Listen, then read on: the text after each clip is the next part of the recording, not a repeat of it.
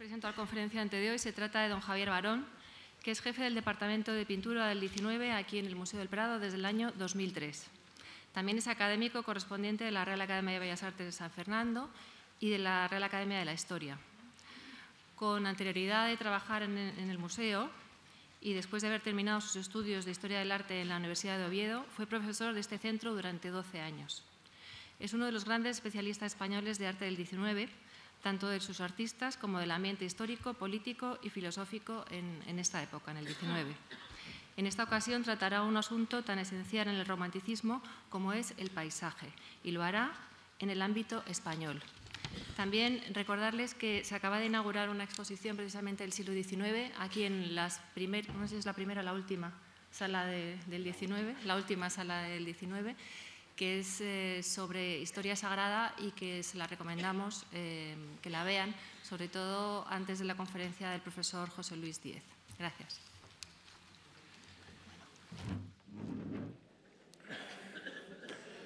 Muchas gracias. Eh, quiero agradecer a la Fundación Amigos del Museo del Prado su amable invitación para participar en este ciclo, la era romántica en el Museo del Prado, en la que me voy a ocupar del paisaje, que es precisamente el género romántico por excelencia entre todos los géneros pictóricos, y aquel además que de modo más claro implica un sentido de progreso, de avance y de prefiguración, de anticipación a las conquistas y a los hallazgos de movimientos posteriores al propio romanticismo, como son el realismo, el impresionismo, fundamentalmente ya en la segunda mitad del siglo. El paisaje, además, constituye en España y en general en Europa un género que escapa, mm, por así decir, en mayor medida que otros a la pervivencia de las convenciones de la academia, de la pintura académica, que eh, se había planteado como esencial mm, en el momento anterior, en el arte neoclásico. Recuerden que la época de la fundación de las academias en la segunda mitad del siglo XVIII es la época de la Ilustración y la época del surgimiento del arte neoclásico. En este sentido, esta conferencia es perfectamente complementaria a la de José Luis Díez, que les hablará sobre la pervivencia de lo académico en el romanticismo, en los géneros de pintura de historia, de pintura religiosa y desnudo, y por ello la conferencia eh, suya eh, va a, estar muy ligada con esta exposición de historias sagradas de pintura española religiosa en Roma entre 1852 y 1864, que se ha inaugurado el pasado lunes. El romanticismo tiene entonces en el paisaje, además, un género que realmente sigue eh, dos grandes tendencias o bebe en dos grandes filones o tradiciones pictóricas muy importantes. Una de ellas es la pintura holandesa, eh, la pintura de los mm, Países Bajos en el siglo XVII, es especialmente proclive a captar las peculiaridades atmosféricas debido al sentido empírico de su eh, cultura. La aproximación de los holandeses al natural está regida por los mismos principios de objetividad eh, que, que tienden a hacer de Holanda una gran potencia, la, primera gran potencia burguesa realmente, una potencia comercial en el siglo XVII y que favorecen eh, pues el estudio de la óptica, el estudio de los, fenómenos de, la visión y el estudio también, como se ve aquí en la pintura, de la acción de fenómenos atmosféricos como es el viento sobre los árboles, como son los reflejos sobre las aguas, y en ese sentido la pintura holandesa es el gran bastión, el gran precedente de eh, la tendencia del paisaje eh, del siglo XIX, ya desde el romanticismo, sobre todo desde Turner y Constable, hacia esa vertiente de representación objetiva de la realidad. La pintura holandesa estaba poco representada en las colecciones del Prado, pero suficientemente presente gracias a algunos artistas como Bobermans o como Jan Both, a quien pertenece esta obra, Paso en la montaña, que han visto en la reciente exposición de los paisajes del Buen Retiro, del paisaje italiano clasicista, el paisaje clasicista en Italia, a donde algunos de los maestros holandeses van también a, pintar. Por otra parte, la otra gran tendencia junto a la holandesa en el siglo XVII, que es la otra gran fuente para el paisajismo del XIX, es la gran pintura clasicista del XVII, la que se veía precisamente más representada en esta reciente exposición del Prado de los paisajes de Italia. Esta tendencia es la representada por Claudio de Lorena, del cual el Museo del Prado tiene una magnífica representación, estas obras como el paisaje con el embarco en hostia de Santa Paula romana, representan muy bien ese ideal de selección de los aspectos más bellos de la naturaleza, que es distinto al ideal del norte. Aquí no hay esa vertiente tan empírica, no hay esa aproximación objetiva, pero sí que hay una utilización de la naturaleza para construir, configurar un paisaje ideal, perfecto, bello, que tiene además una confluencia con la arquitectura clásica, con las ruinas o con los edificios clásicos, recreados de un modo adecuado por estos grandes pintores del siglo XVII, como son Lorena, Poussin, Aníbal Carracci, Domenichino y otros artistas italianos, bologneses o romanos del siglo XVII. Esos dos grandes filones, si recuerdan la exposición de Turner y los maestros, habían sido las dos grandes referencias de su arte. Lo vimos muy bien desde en las comparaciones que existían desde el arranque mismo de la exposición, y Turner como Corot en Francia fue capaz de sacar el máximo partido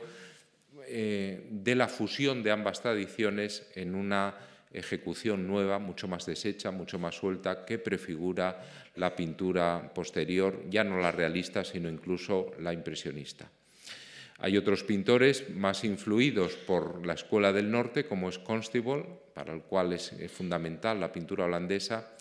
Y en España ambas tradiciones van a ser importantes. Las dos están representadas en el Museo del Prado, por tanto, este museo, que desde 1819, fecha de su apertura al público, sirvió de venero, de inspiración o de repertorio para formar en los grandes artistas y en las grandes tradiciones a los pintores mm, a partir de ese momento, 1819, es decir, a partir del propio inicio del romanticismo, y por ello la posibilidad de conocer de primera mano estos paisajes que les presento, este de Nicolás Poussin, paisaje con una tumba antigua y dos figuras, que estuvo también en la exposición de paisajes de Italia, el paisaje clasicista italiano, eh, ese contacto directísimo con estas obras supuso para los pintores de paisaje una referencia a ambas tradiciones, la clasicista y la holandesa, con ejemplos de primera mano y ejemplos especialmente relevantes en el caso de la tradición clasicista. Esa tradición clasicista es la que vemos en el origen del siglo XIX, en el primer tercio, en artistas como son José Ribelles, a quien pertenece esta obra, que tienen ustedes actualmente expuesta en la sala 75, la sala de la Galería Baja del Sur de Villanueva. Es una obra cuya ordenación en planos paralelos al espectador, fíjense las figuras ordenadas perfectamente casi en paralelo, junto al parapeto, las falúas reales también en paralelo, y el estanque con los términos de, arbolado al fondo. Esto es el retiro, eh, como ven. Eh, realmente todo ello perfectamente ordenado, con una lectura clarísima, con una pincelada minuciosa que permite diferenciar perfectamente los términos primero y último y con una ausencia de la atmósfera interpuesta, de ese aire interpuesto, que realmente va a ser una aportación propia del periodo romántico. Este es el precedente, solo voy a poner un ejemplo de paisaje clasicista anterior a lo que vamos a ver que es el paisaje romántico. Dentro también del interés de los paisajistas por el paisaje, hay que señalar el interés concreto que uno de ellos, un pintor formado todavía en el ámbito neoclásico, en el ámbito sobre todo de José de Madrazo, del cual va a ser íntimo, que es Valentín Carderera y Solano, un pintor, dibujante, litógrafo, gran historiador, gran coleccionista y bibliófilo y coleccionista de dibujos y grabados, verdaderamente impresionante, el más importante quizá de todo el siglo XIX, junto con Bartolomé José Gallardo, de, papeles viejos. Y realmente una figura eh, pluriforme, una figura poliédrica cuya dedicación al dibujo y a la acuarela en el aspecto del paisaje es relevante y el Prado eh, ha adquirido, la mayor parte de los ejemplos que he procurado poner son del Prado, eh, muchos de ellos adquiridos recientemente, como estos álbumes de Carderera, que hizo para su mecenas, el duque de Villahermosa, que le costeó su estancia en Italia en los años 30. Realmente estas eh, obras nos muestran eh, cómo a, mano alzada mm, deja patente la configuración topográfica del terreno, las arquitecturas, y configura con estas vistas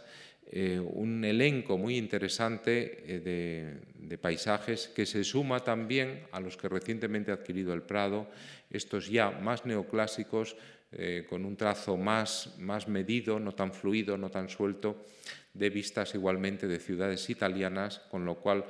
el Prado posee en estos momentos unas colecciones muy importantes de este tipo de paisajes. Un artista ya propiamente romántico es José María Abrial y Flores. También es un artista multiforme, no tanto como Carderera, que es historiador, pero sí que es un pintor erudito, un pintor que conoce las antigüedades medievales, ellos llaman las, antigüedades españolas y meten lo medieval dentro de esos monumentos antiguos. ¿Por qué? Porque lo medieval no, se había, no había suscitado interés alguno. Los teóricos neoclásicos habían abominado del arte medieval anterior al gótico. Todavía en el gótico veían una racionalidad en la construcción. Sin embargo, una de las grandes aportaciones del romanticismo, y en concreto de artistas como Abrial, artistas dibujantes, escenógrafos también, eh, es esa atención eh, hacia, las, eh, hacia, el pasado medieval que, que, se ve en muchos de sus álbumes, de, muchos dedicados a Segovia, donde efectivamente trabajó en mayor medida, pero también al norte, en donde recreó en unos momentos en que viajar era verdaderamente difícil, monumentos no solo mm, románicos, sino incluso prerrománicos. También Abrial se dedicó a plasmar los monumentos madrileños en una línea, eh, monumentos de, época ya moderna, de los siglos XVII, especialmente del XVIII, como vemos aquí, eh, en una línea muy similar a las vistas de Brambila, que había sido el antecedente, los sitios reales de las imágenes litografiadas por José de Madrazo a partir de, artistas, de dibujos de artistas como Brambilla. Y realmente esa virtud que tuvo la litografía en estos años, a partir sobre todo de los años 20 y 30, de mostrarnos con una ejecución muy sencilla, muy rápida, simplemente es el lápiz graso que se desliza sobre la piedra litográfica, es como un dibujo, eh, pero permite una reproducción muy barata de un gran número de estampas y de ejemplares, por lo cual desplaza completamente al grabado en las tareas de representación. Y el paisaje litográfico y las vistas litográficas van a tener una gran eh, proyección y una gran difusión eh, realizadas muy frecuentemente por pintores paisajistas que también al mismo tiempo trabajan al óleo, como es el caso del propio Abrial. Fíjense esta vista de la fachada sur del Museo del Prado, donde todavía los ejemplos de Brambila y de Ribelles, con esos planos paralelos al espectador que hemos visto en el estanque del Buen Retiro de Ribelles, se siguen manteniendo, pero en donde aparecen ya, en, estas, en este interés por la vegetación, un afán de mostrar lo particular las plantas, que además tienen su especial sentido dentro de un jardín botánico. Esto está tomado desde el interior del jardín botánico. Aquí tienen la fachada al botánico por Juan de Villanueva y la fachada sur también de Villanueva, es un doble homenaje a Villanueva en, este, esta obra, fachada sur del Museo del Prado, en donde esa animación, ese sentido también de, de ocio al aire libre, que, crecientemente va, va, a ser importante en las vistas de ciudades que van a aparecer, no solo en el romanticismo, sino también después, en este sentido, recuerden esas escenas de, la pintura de Manet, en, la música, el baile en las tullerías, por ejemplo, y esos, los, antecedentes a ese tipo de interés que en España se desarrolla más tardíamente incluso que en Francia, están de algún modo en estas escenas de Abrial. Fíjense cómo todavía la iluminación es muy clara, como en las escenas de Ribelles y de Brambila. No hay algo típico del paisaje romántico más avanzado, que es el monocordismo, la entonación en unos ocres dominantes, en colores cálidos fundamentalmente. Todavía aquí, en estas obras de los años 30 y 40, dominan los tonos fríos y esa definición muy concreta, no solo del edificio, regido por sus líneas maestras, aquí perfectamente dibujadas, sino incluso de los árboles recortados como pantallas con las hojas minuciosamente pintadas, como residuos todavía de ese paisaje neoclásico en el que se forma Abrial, aunque él ya por época, años 30, 40, eh, es un artista eh, sobre todo romántico, un artista cuya dedicación a la escenografía además le hace abordar con un empaque y con una ambición y con, un, con una, podríamos decir, desenvoltura, nuevas escenas como esta, escenas bíblicas, como la hija del faraón sacando a Moisés del Nilo, cuadro del Prado del año 62, depositado en el Museo de La Rioja, que en el fondo es un paisaje inventado, porque Abrial no viaja al Nilo, eh, simplemente consulta las fuentes de monumentos egipcios que tiene a su disposición, eh, sabe que hay palmeras en el Nilo y que hay obeliscos, pero eh, introduce con gran libertad las figuras y los restantes árboles, buscando ya, fíjense, en esta es una obra avanzada, ya en el 60, en la década de los 60 es la década final del romanticismo, que en España podemos considerar que eh, termina con la Primera República, con la huida de, de Isabel II, a Francia y fíjense cómo en vez de, esa composición en planos paralelos, herencia todavía de la pintura clasicista anterior, tenemos ya una diagonal, un dinamismo propio de la pintura romántica, una doble diagonal en realidad. Tenemos ya algo muy característico del paisaje romántico, que es eh, la vinculación de esas eh, figuras muy pequeñas en distintos planos de profundidad para dar idea de la perspectiva y a través de la disminución de tamaños, tenemos ya unos tonos más ocres, más cálidos, unas entonaciones eh, más oscuras, una mayor ambientación en la obra,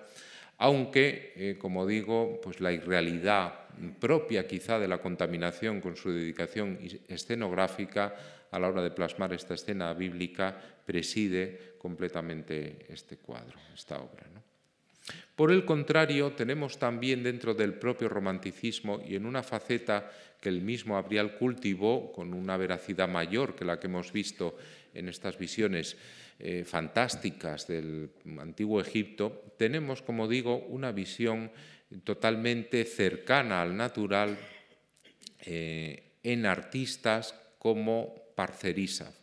Francisco Javier Parcerisa, un artista catalán pero que en el fondo trabaja mm, por doquier, es uno de los artistas que mejor conoce España, puesto que acompaña a Pablo Piferrer y a José María Cuadrado en sus eh, excursiones para la redacción de esa empresa monumental que son los recuerdos y bellezas de España,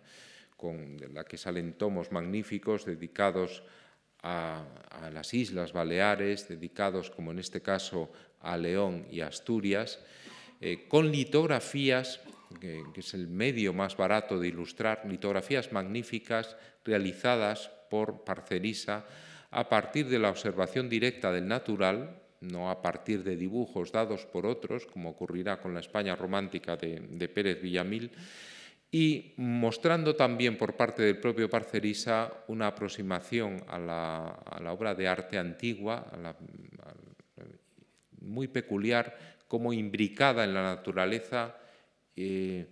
rodeada y, armonizada por la naturaleza en la que aparece, como vemos en sobre todo en las litografías de las cuales él se sentía más orgulloso, que eran las que hizo en Asturias,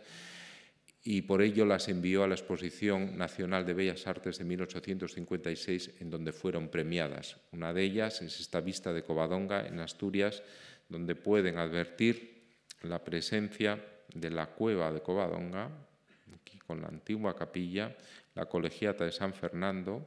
el monumento magnífico de Ventura Rodríguez, sin acabar, claro, solo se hizo el basamento, que como esas obras de arquitectura utópica de Ledús encauzaban el agua a través de la, propia arquitectura, el agua que se desprendía de la peña. En fin, aquí hay una reunión de numerosísimos motivos románticos. Tienen la gran naturaleza, la, la naturaleza grandiosa, el paisajismo de lo sublime, por una parte. Tienen también el pasado histórico, puesto que ahí nace la nación española, como se considera entonces, el pasado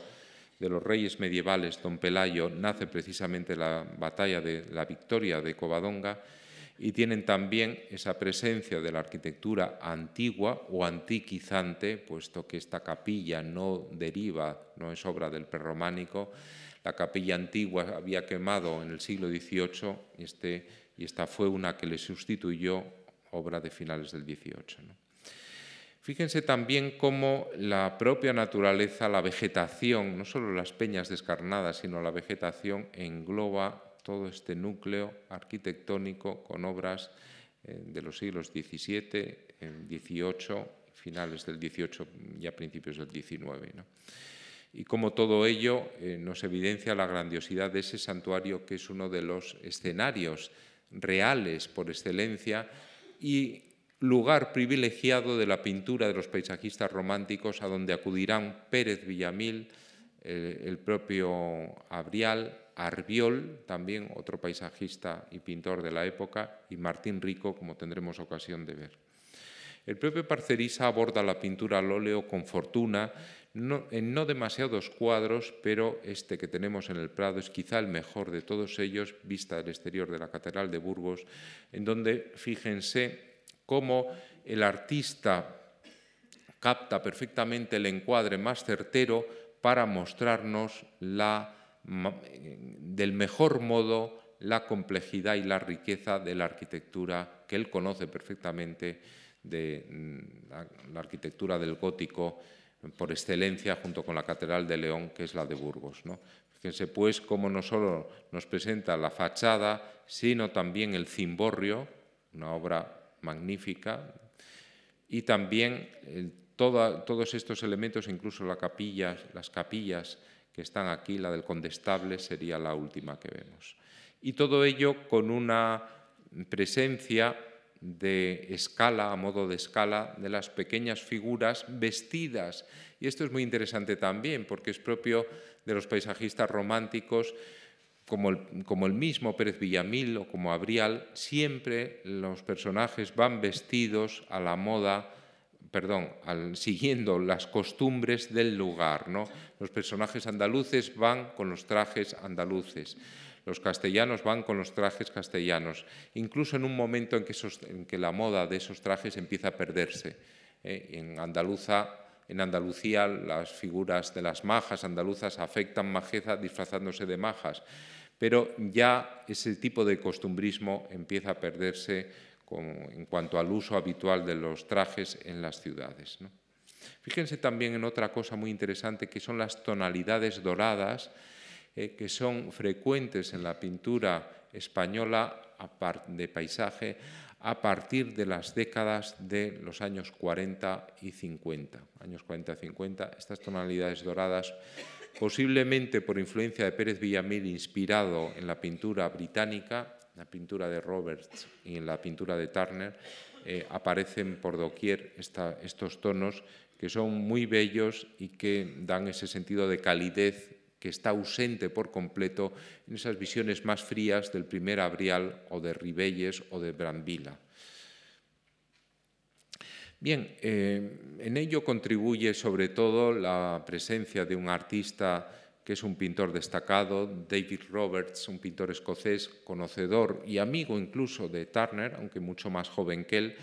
artista que eh, entra en España en 1832, que va a pintar allí en 1833, especialmente en Sevilla, y eh, que coincide allí con varios pintores, entre ellos Escacena y Daza, eh, Manuel Barrón posiblemente, y con seguridad con Genaro Pérez Villamil, que es el artista español más destacado y que le influye poderosamente. A Roberts le influye, como a muchísimos artistas británicos que mm, viajan por España, algunos de ellos escritores y dibujantes, tienen las dos facetas, como es el caso de Richard Ford, por ejemplo, artistas que son también litógrafos, como el propio Roberts o como John Frederick Lewis también, y artistas que no dejan de influir poderosamente en la pintura, como veremos que se hace en el foco andaluz. Eh, Sevilla les fascina, también Granada, pero Sevilla es verdaderamente una ciudad más importante, una ciudad muy atractiva, muy alegre, una ciudad en la que además, ya veremos, se van a establecer la corte de los Montpensier, que va a apoyar las artes, pero el momento en que Roberts está allí, esto no ocurre. De hecho, estos cuadros pertenecieron a, a esa colección, a la colección de Montpensier, que los compró posteriormente. Eh, fíjense cómo las antigüedades árabes, en este caso la Torre del Oro, esa magnífica torre almohade, están vistas como referencia del Guadalquivir, es una vista canónica esta que tenemos aquí,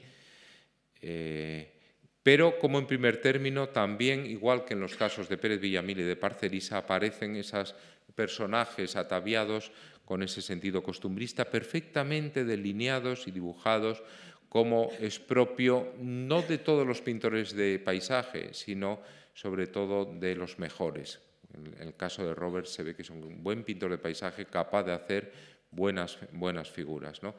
De hecho, no les he hablado aquí, lo, hago con más extensión en el texto del libro, eh, de las teorías acerca del paisaje y de cómo los pintores académicos eh, ponen una especie de coto o de dique hacia los pintores aficionados porque supuestamente el paisaje es un género más fácil. Al no tener que dibujar figuras, eh, parece que está más al alcance de cualquiera de los pintores aficionados, que además se refugian en el liceo. Frente al foco diletante del liceo, la academia preserva la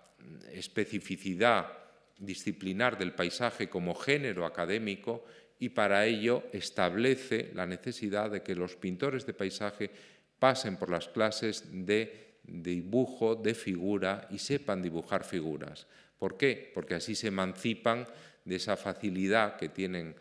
en el peor sentido, que tienen los pintores aficionados y por tanto ellos hacen paisaje y como en el paisaje se incluyen comúnmente pequeñas figuras, esas figuras van a estar bien hechas porque también han aprendido su ejecución y su dibujo perfectamente. Y este es el caso también aunque proveniente de otra tradición, de David Roberts. Recuerden las dificultades que tiene Turner a veces al hacer las figuras, si se acuerdan de la exposición, aunque él era un pintor académico, es un pintor que enseguida entra a la academia y que incluso da clases en, la propia Academia de Perspectiva. Pero, sin embargo, es un, pintor para el cual lo más importante es el, paisaje puro y, ese desdén a veces por las figuras le hace caminar más lejos que otros paisajistas, más vinculados o más aferrados a los preceptos académicos. También el castillo de Alcalá de Guadaira vemos ejemplos, en los dos casos muy ternerianos, de figuras de ruinas en castillo que se reflejan o que están al lado de cursos de agua, de ríos, con este resplandor en haces de luz que emplea Turner, que emplea luego John Martin para el cual preparan ahora en Londres una exposición muy interesante, y que va a emplear también Pérez Villamil, que va a ser el que, el que aproveche mejor estas enseñanzas de David Roberts. Pérez Villamil bebe primero en la tradición topográfica del paisajismo militar, eh, realmente eh, los ingenieros, los militares, los artilleros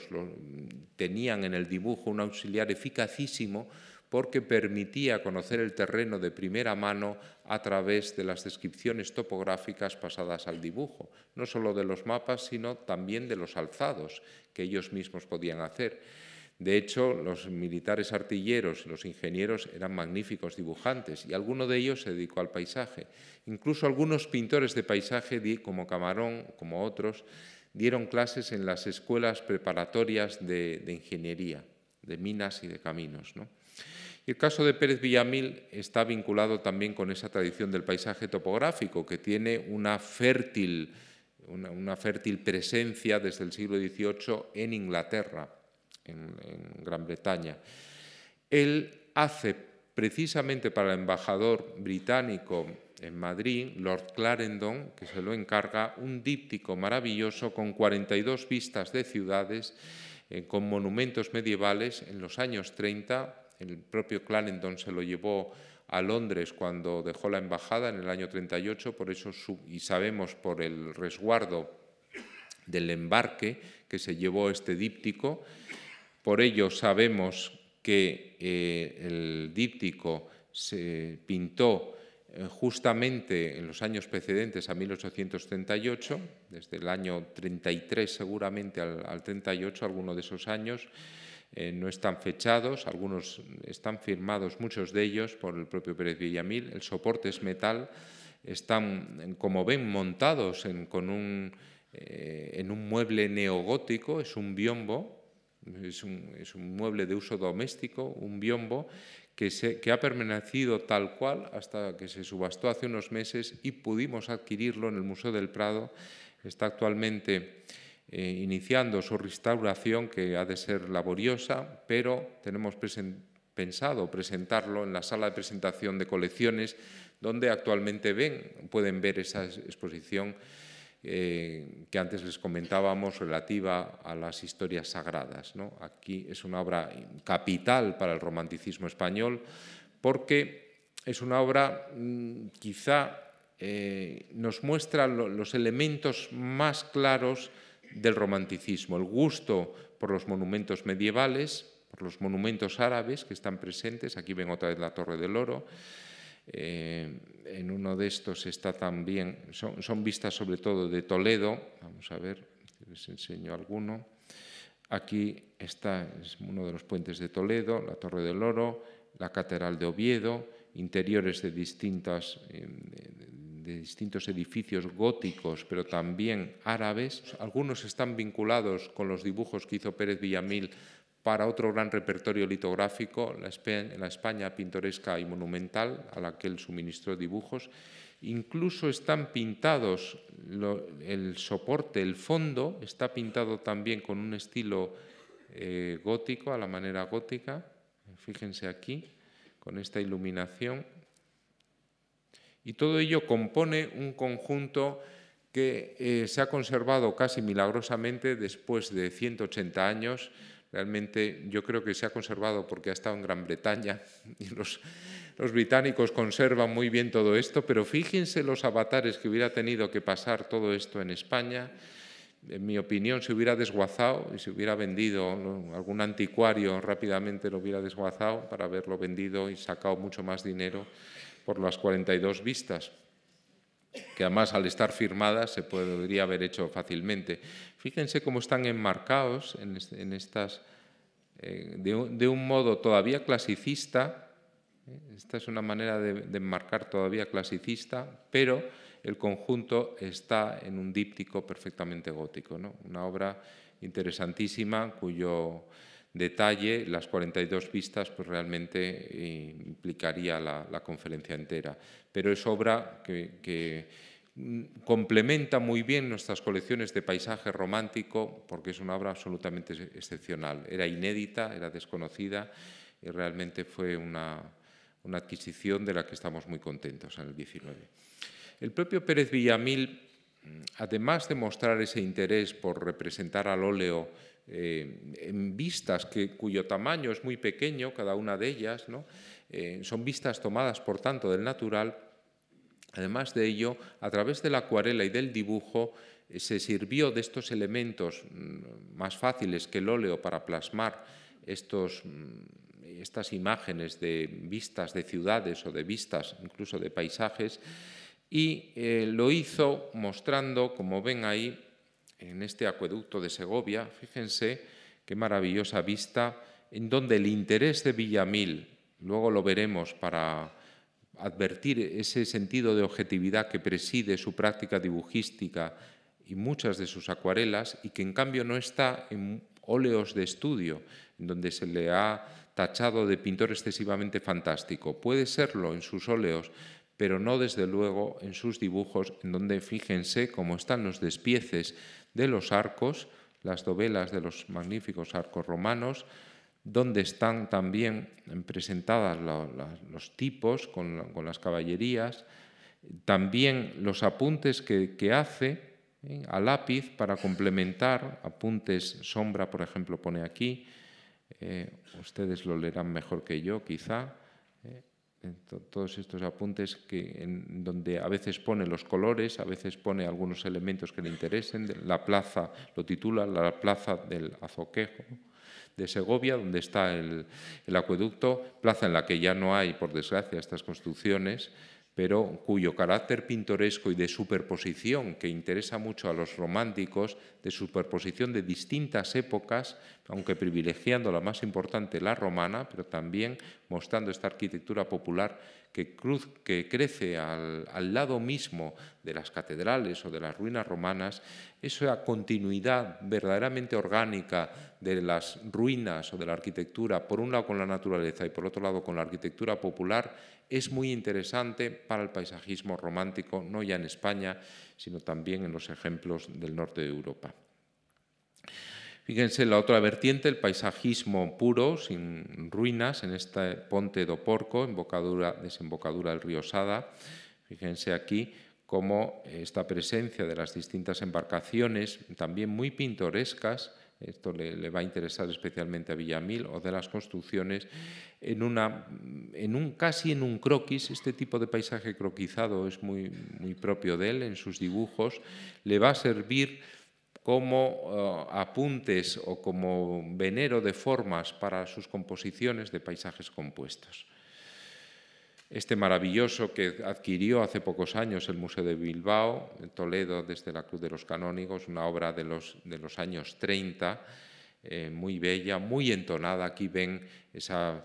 esa, calidad propia de la pintura de Pérez Villamil, gracias a las veladuras tintadas en barnices muy ricos que desgraciadamente los restauradores han destrozado en el 90% o 95% de los casos y cuando se preservan hay que rezar para que no caigan en manos de un, restaurador que pueda llevárselas, porque es muy fácil, en un punto de limpieza mínimo, acaba con esas veladuras eh, en los cuadros. ¿no? Este es un ejemplo nuestro, es la obra, la única obra de Pérez Villamil que tenemos actualmente expuesta, es la mejor conservada, no la más importante, pero magníficamente conservada, restaurada hace poco en el Prado con el cuidado exquisito de que es capaz nuestro taller y realmente eh, el cuadro, como ven, preserva perfectamente esas veladuras, esos tonos plateados esos tonos más dorados en las arquitecturas. Aquí ven la influencia de David Roberts en la Torre del Oro, ¿no? Este es un paisaje del año 37, cuatro años después de haber coincidido con Roberts en Sevilla. Aquí ven también estas vacadas que son muy típicas del, paisajismo español, pero que beben en la tradición eh, más holandesa que británica. Recuerden Albert Cuyp, escrito C-U-Y-P, un pintor holandés muy notable que influyó mucho en Turner, del cual también presentamos escenas en donde se veían por un lado estos reflejos y por otro lado estas vacadas. Eh, esta pintura es menos importante, pero está mucho mejor conservada que la vista del castillo de Gaucín, que es la obra, es uno de los grandes paisajes románticos de grandes dimensiones que aborda Pérez Villamil y que por desgracia sufrió una restauración excesiva, no en el Prado, pero que en algún momento habrá que volver a, plantearse su recuperación y su exposición porque se trata de una obra magnífica. Fíjense aquí cómo el, el castillo parece emanar del propio cerro con esa continuidad orgánica entre la geología y la ruina, como por otro lado hay una visión panorámica, otro rasgo muy típico del paisaje romántico, perfectamente delimitada en planos muy claros, con la visión del peñón de Gibraltar. No sé si lo ven aquí, perfectamente visible la, franja de agua y la costa africana, con el pintor tomando apuntes, quizá un homenaje a Roberts, con los, los que le acompañan e incluso hay hasta unos contrabandistas, eh, también una cruz que a veces aparece en los paisajes de Villamil, cruz que señala un lugar donde hay un enterramiento, normalmente por un crimen, eh, debido a estos bandoleros de la Sierra Morena, en fin, están todos los tópicos del romanticismo perfectamente conjuntados y reunidos con una arquitectura verdaderamente fantástica, en donde el pintor, fíjense lo más curioso, parte de, esta, de este grabado de David Roberts para un libro de Roscoe que el propio Pérez Villamil poseía y fíjense cómo Roberts, es, que pasa por allí en sus excursiones, lo dibuja del natural, también lo agiganta, lo hace más grandioso de lo que realmente es, ¿eh? también nos presenta Gibraltar, la costa, y evidentemente yo creo que no hay duda de la inspiración en Roberts de Pérez Villamil, por tanto de su influencia, la influencia clara de este maestro escocés, con el cual se cartea posteriormente y al que va a ver a Londres años después, eh, en un momento en que puede ver todavía los cuadros de Turner. Realmente antes de morir Turner, realmente ese conocimiento de la obra de Turner creo que se da de primera mano, no solo a través de Roberts, sino de primera mano durante su viaje a Inglaterra. En la exposición de Turner yo redacté un texto para el catálogo en donde ponían, ponía esta relación en pie. ¿no? fíjense esta vista, este es uno de los primeros obras de Turner, todavía de los años 90, uno de los primeros óleos, esta vista de Tabli, eh, con la torre,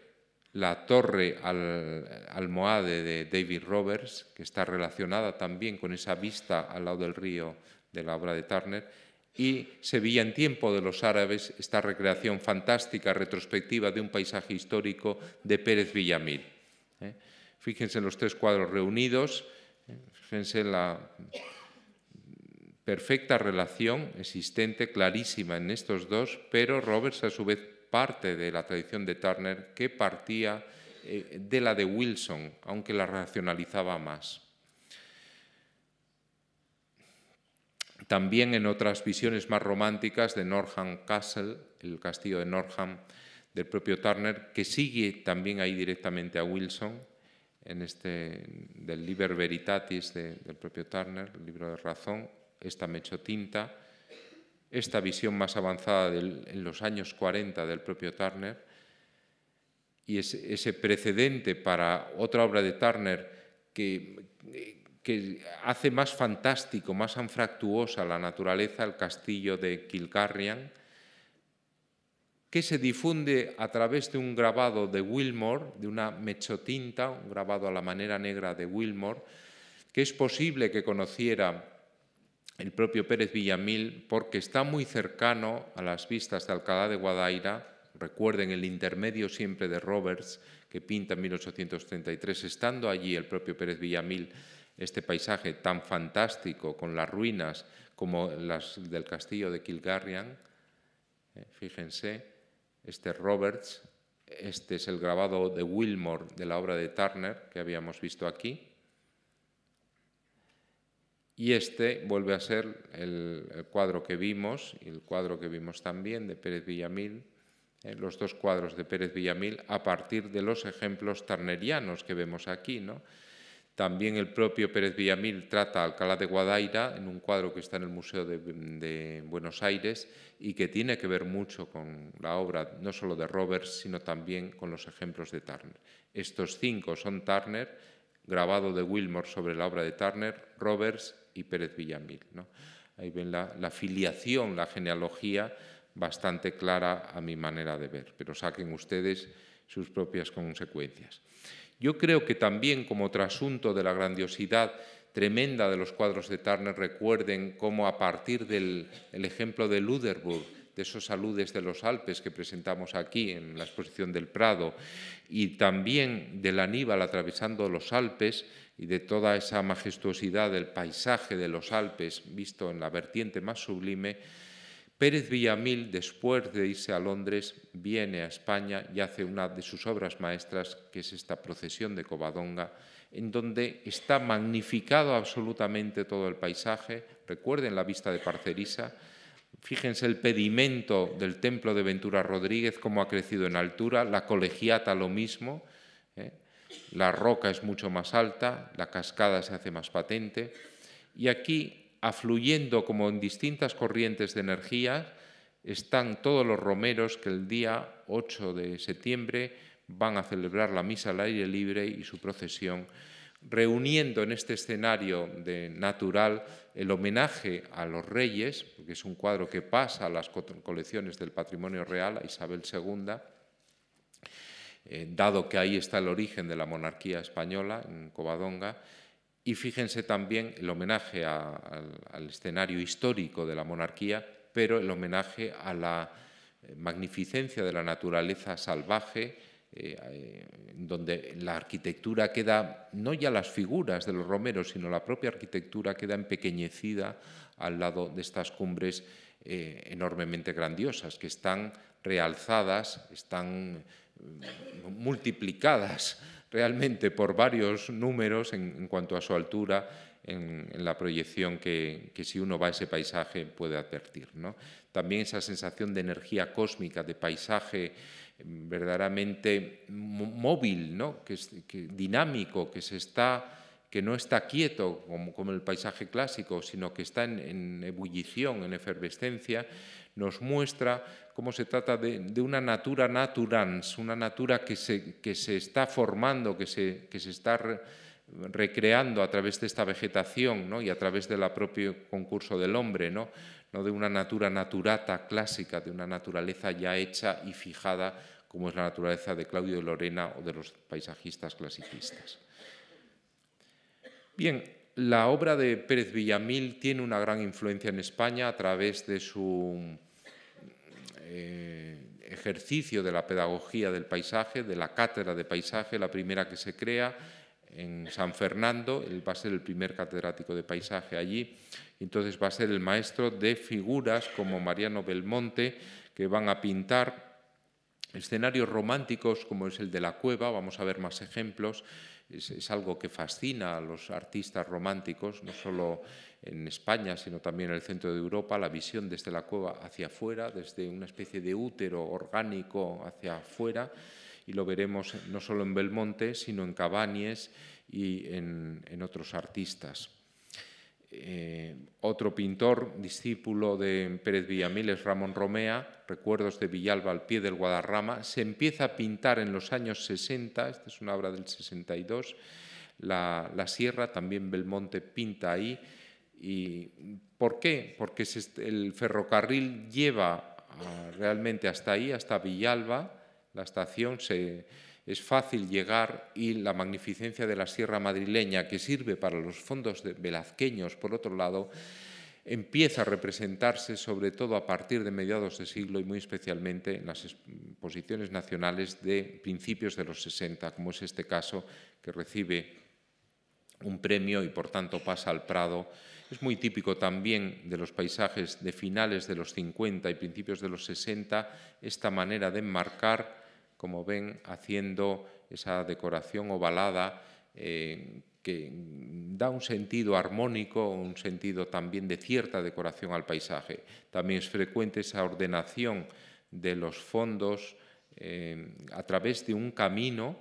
puede ser un curso de río también, pero en este caso es un camino que va uniendo y que va unificando los distintos términos de, profundidad. Es un paisaje que parte mm, del natural, pero que lo relabora en el taller. Por eso el título de Recuerdos, cuando lo vean aplicado a un cuadro, es un título de artista romántico, porque es una evocación en el taller a partir de unos apuntes del natural, pero el componente subjetivo es el que domina en estos paisajes. Uno de los pintores marinistas más importantes, el que más realmente, es Ricardo de Brugada, pintor que trató a Goya en sus últimos años y que pinta en su origen, en sus escenas de Burdeos, donde está, eh, como el caso de Goya, exiliado, pinta en su primera formación con arreglo a esas visiones neoclásicas de planos paralelos al espectador, como se ve perfectamente en el puente y en la disposición de la barca.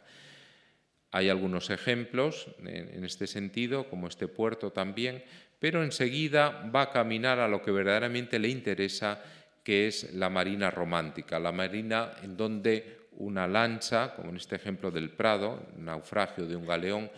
lucha contra un mar embravecido, un recurso tarneriano eh, que, que, aparece no en la pintura británica del siglo XVIII, de finales del XVIII y principios del XIX, sino que aparece verdaderamente la pintura holandesa del XVII. Recuerden el magnífico ejemplo de Van de Velde que estuvo aquí expuesto en el Prado.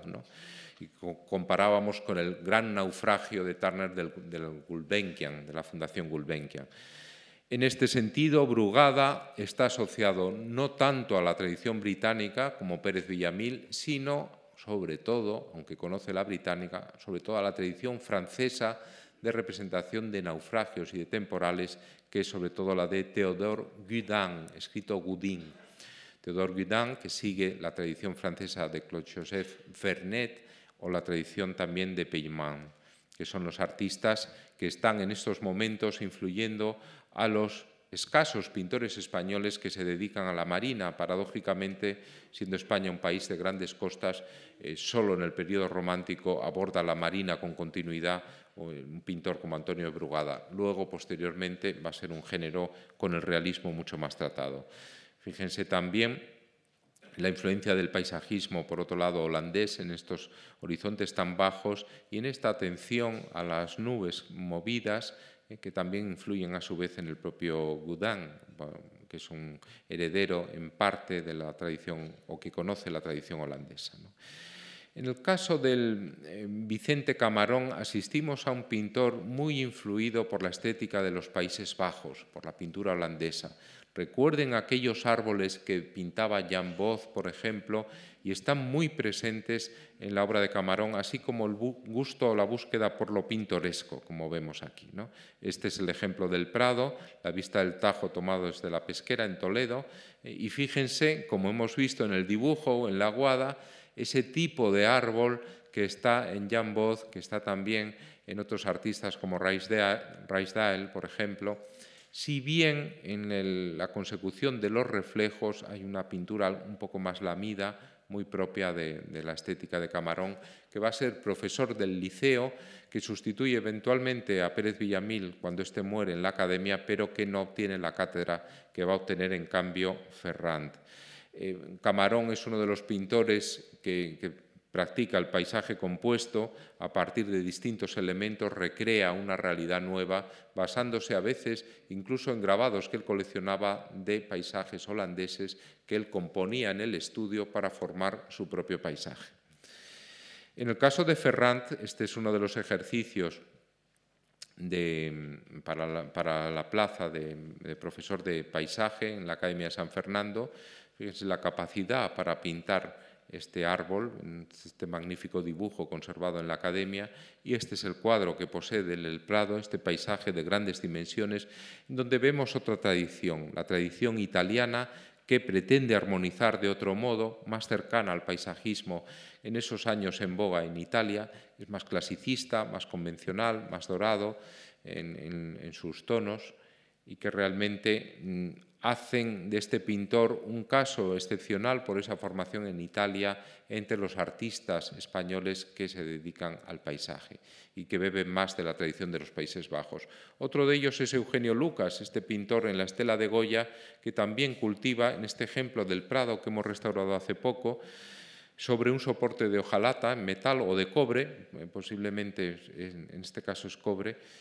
puesto que su pareja se había utilizado para hacer un, grabado calcográfico. Y fíjense cómo también aquí la influencia holandesa de estos barcos en estas rocas, pero también el gusto ya plenamente romántico, estamos ya en 1850, es un paisajista que disputa con Pérez Villamil a ver quién es más rápido dibujando y pintando, a ver quién a partir de las manchas eh, que surgen sobre el papel es capaz de recrear con mayor imaginación paisajes fantásticos e imaginados y eso lo lleva en buena medida al óleo también, como vemos en estos ejemplos del Prado. La acuarela, por otro lado, técnica específicamente romántica, en España tiene un cultivador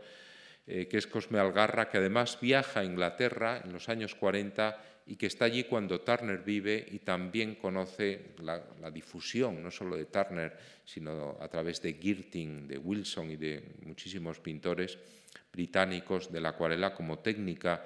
perfecta para captar el paisaje debido a la fluidez y facilidad que vincula. Y fíjense aquí estos tonos como nos recuerdan algo a Norham Castle, algunas acuarelas del final de, las obras de Turner, con los complementarios violáceo amarillo. El propio Algarra pinta también paisajes más amarrados, más, más objetuales. En, las pinturas están pintado este para la Exposición Nacional del 62, eh, es cercano a lo que hemos visto en Romea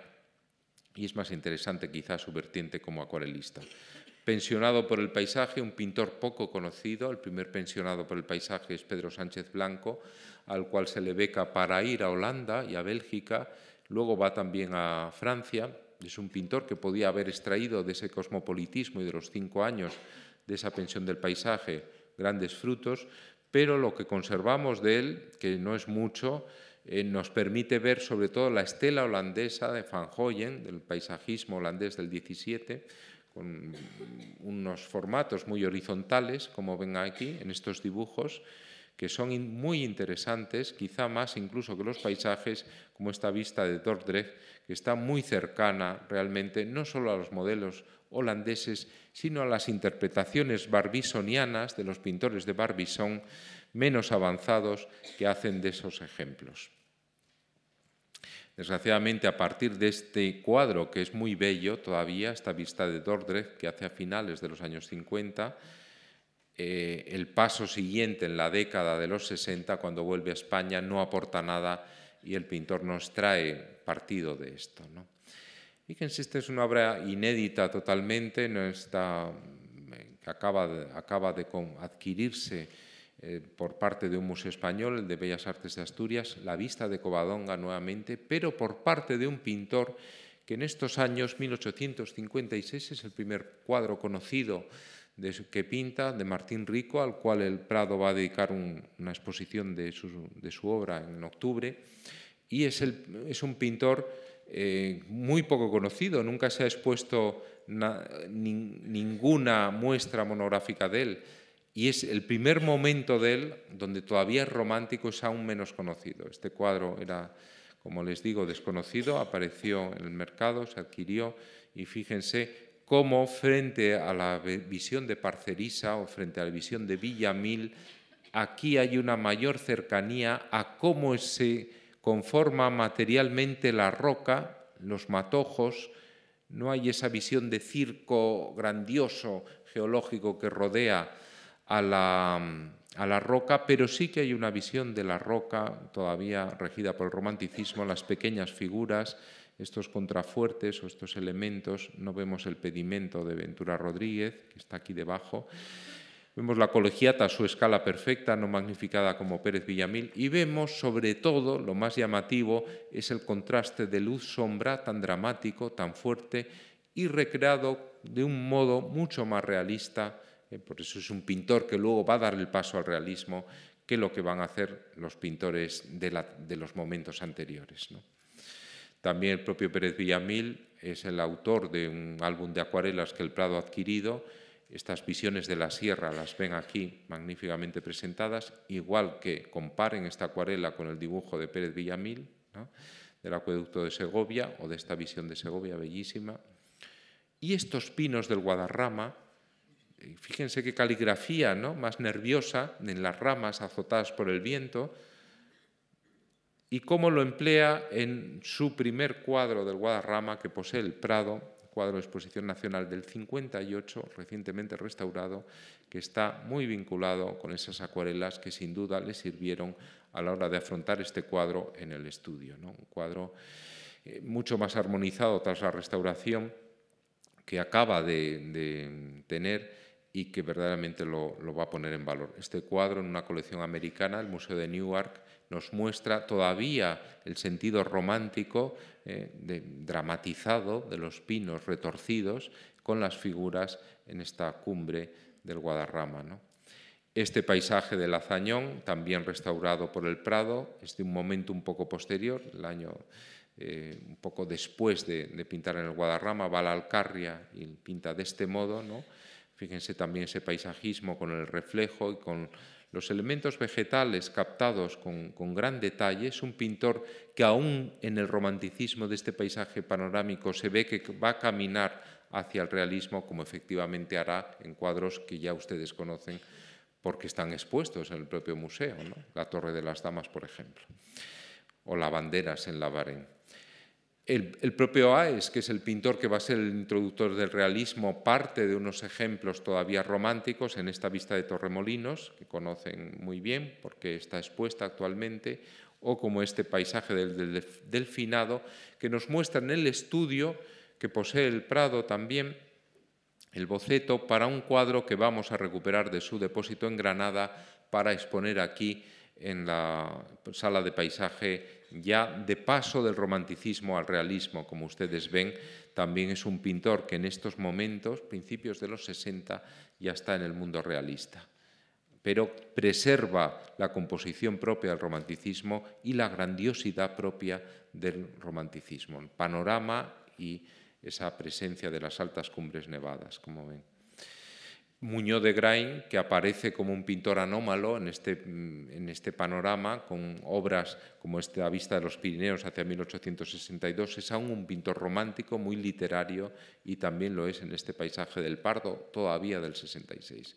El foco sevillano, para que tengan una muestra, los principales pintores los hemos visto todos aquí, pero para que tengan simplemente una muestra, porque ya es la hora, el museo está cerrado,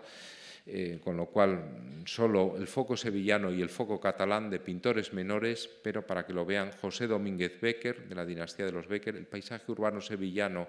eh, crece en importancia en estos años, Joaquín Domínguez Becker, su primo, eh,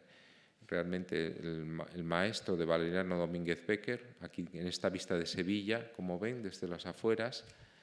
Manuel Barrón, que es otro de los artistas cercanos de David Roberts, en este caso los ejemplos del Prado nos lo muestran, fíjense cómo es mucho más artificioso que Pérez Villamil, con quien se le ha comparado a menudo, pero es un pintor menor al lado de él. Este paisaje fluvial con figuras nos muestra también brillescos en este gusto por los tonos dorados que todavía están presentes incluso en el paisaje en la Sevilla del 19. La roca, el interior de la roca también lo trata Barrón como Mariano Belmonte. Tajo de Ronda, también, ya en los años 60 son estas dos obras del propio Barrón, la feria de Andrés Cortés, la feria de Sevilla que se crea en esos años y que propicia vistas canónicas de la ciudad con sus referencias de la Giralda y del Palacio de San Telmo, o este inicio del, paisajismo entre el romanticismo y el realismo en este fondo de Eder, de un cuadro del Prado depositado en el Defensor del Pueblo, o esta visión de un pintor muy poco conocido, que a veces se confunde con su hermano mm, Andrés Cortés, este es Antonio Cortés, y aquí tienen un paisaje que nos recuerda mucho a las visiones de Jacques, un pintor barbisoniano, casi parece un pintor de Barbizon, y es que efectivamente este pintor trabaja en Francia, y como afirma Cortés, se ha creído que es su hermano Andrés, pero no, es Antonio, que es casi un pintor francés, ya realista. En Cataluña, con la Renaissance, esa recuperación del paisado medieval romántico por parte de la cultura catalana, tenemos cómo los artistas, eh, como Joaquín de Cabañes, por ejemplo, pintan los monumentos naturales de las cuevas, por ejemplo, y también los monumentos eh, arquitectónicos, o cómo Luis Rigalt con una vertiente escenográfica paralela a la de Abrial, pero más interesante, puesto que está imbuida de una cercanía muy curiosa a los modelos del norte, los modelos germánicos, esa faceta de romanticismo germánico cuaja mucho más en, en Cataluña que en ningún otro lugar de España y explica esa grandiosidad de los ejemplos acuarelados de Rigal, como este paisaje que adquirió el Prado hace poco, o este también, verdaderamente, recuerden los modelos de Friedrich, por ejemplo, ¿no? aunque esto es una obra posterior y había muerto Friedrich aquí, o de Carus, en 1850, magnífica acuarela que compró también el Prado, o esta obra, este Roca Dreta, con Montserrat al fondo, el gran santuario de, los, de Cataluña, ¿no? de la Virgen Catalana, de Montserrat, con este accidente topográfico que existe, la rocadreta tan peculiar y que le sirve al artista de, origen para su cuadro. Este que acabamos de recuperar de su depósito en Poblet, Recuerdos del de Cataluña, fíjense lo que les decía, es un paisaje de exposición nacional del año 58, eh, un paisaje, por tanto, hecho en el estudio, antes de su restauración, este lo hemos restaurado recientemente, aflorará también en las colecciones, o este que hemos comprado, la obra de mayor tamaño que se conoce de Rigal, que lo hemos comprado el año pasado, o hace dos, no sé, hace dos años creo, eh, salió en la memoria del año pasado publicada. Fíjense, este es el paisaje inspirado por Montsegur, la última fortaleza cátara de los Pirineos, eh, maravilloso, un paisaje de metro y medio casi, eh, con, esa visión del primer término en la oscuridad y el segundo en, la luz. ¿no? También un paisaje del año, de la exposición del año 58. Sin embargo, Rigal no da el paso hacia el realismo que Dan Rico o Dan Aes y en los 60, en vez de avanzar sobre eso, recurre otra vez a las ruinas, como en este paisaje del Menac de, Cataluña, de Barcelona, que realmente no aporta nada sobre los paisajes anteriores del Prado. En el caso de Martí Alsina, la poética de las ruinas está aquí y el inicio del paisaje realista aquí, en obras del año 60. Esta está expuesta actualmente, este paisaje de Cataluña, magnífico, donde ese gusto por los empastes propios de Martí Alsina permite avanzar un paso más hacia el realismo con respecto a Rigal. Finalmente, con Urgel, eh, estas cosas de Cataluña nos pone en contacto con ese formato apaisado y con esa paz y calma que ya en el arranque mismo de su larguísima carrera eh, prefigura, recuerden esas obras de los cementerios o esas obras detenidas en el tiempo del Urquiel simbolista de los años 90,